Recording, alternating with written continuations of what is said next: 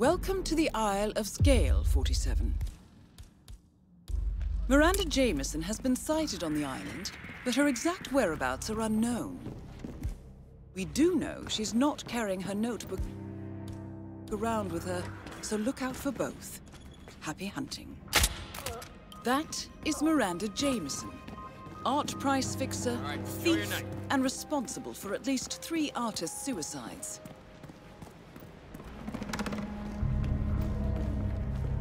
So, Excellent, Jameson is really gonna That's the notebook secured.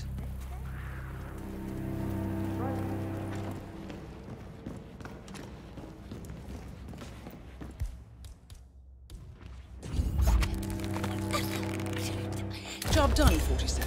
Head for an exit, and I'll wire the money as per usual.